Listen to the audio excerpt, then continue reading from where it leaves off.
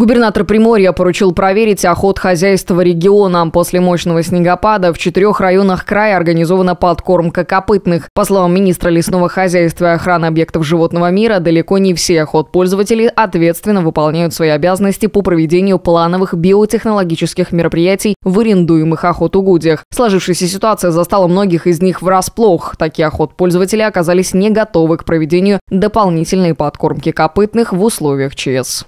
Проблемы, связанные с э, обеспечением кормами э, животных, а именно копытных, оленей, кабанов, э, другой живности. Вот. Создалась тяжелая ситуация, связанная с тем, что высокий уровень снега, большой наст – труднодоступность к тем площадкам кормовым, которые были в охотничьих хозяйствах организованы, а также невозможность, скажем, достать растительность. Вот, она находится под глубоким слоем снега. Мы приняли решение за счет резерва по чрезвычайным ситуациям. Мы предоставим необходимое зерно для охотничьих хозяйств, где есть угодья общего пользования. Поэтому необходимо не только предоставить эти условия, но и проконтролировать, как это доходит непосредственно значит, э, в охотничье хозяйство и доступно ли это э, этим э, копытным.